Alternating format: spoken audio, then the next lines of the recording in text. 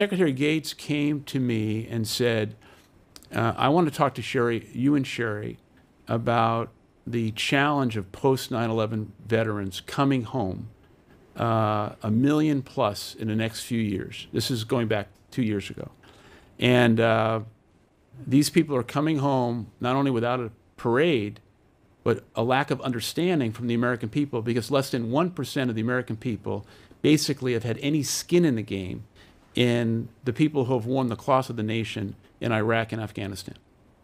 Because 99% of the American people have not been directly involved in who has served.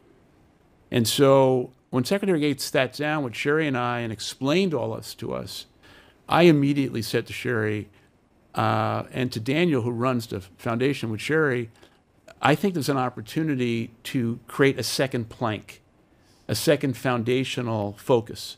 And in fact, we began to see some threads of uh, not ex- exactly the same, but they mirrored each other in a way. These kids who were not in school and not in work and didn't have a chance, misunderstood, of great value to our society, great resources, and great, fantastic people. Uh, and then post 9 11 veterans who needed a transition.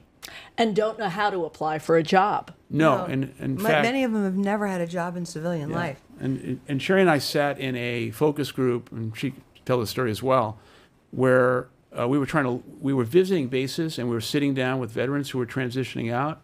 Uh, and like everything else, we really did our homework and due diligence and tried to understand all this. We were in a focus group, and a young so, uh, soldier stood up and said, and we couldn't believe these words. He said, I, I have more anxiety about going to a job interview than I have to go back to Iraq And do a, another, another deployment. And uh, we heard that. We said, did he just say that?